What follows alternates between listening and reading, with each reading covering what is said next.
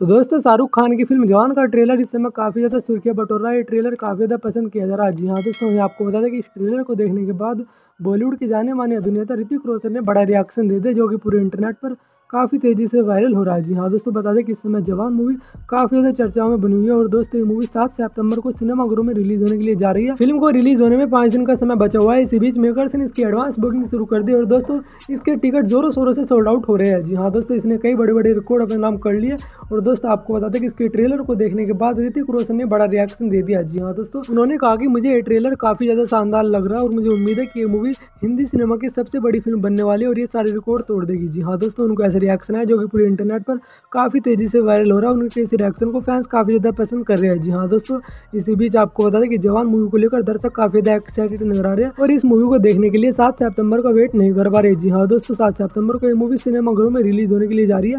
जो कि दोस्तों रिलीज़ के साथ ही ये मूवी कई बड़े बड़े रिकॉर्ड अपने नाम कर लेगी और दोस्तों हिंदी सिनेमा की सबसे बड़ी फ़िल्म बनने के लिए जा रही है। जी हाँ दोस्तों सारे रिकॉर्ड टूटने वाले और दोस्तों शाहरुख खान इस मूवी से तहलका मचा देगी, जो कि दोस्तों सारे रिकॉर्ड तबाह होने वाले हैं। वैसे दोस्तों आपको जवान मूवी का ट्रेलर कैसा लगा प्लीज़ कमेंट बॉक्स में जानना भूले। और ऐसे बेट जानने के लिए प्लीज़ चैनल को सब्सक्राइब कर ले ताकि हर वीडियो की नोटिफिकेशन आप सबसे पहले पहुँच सके।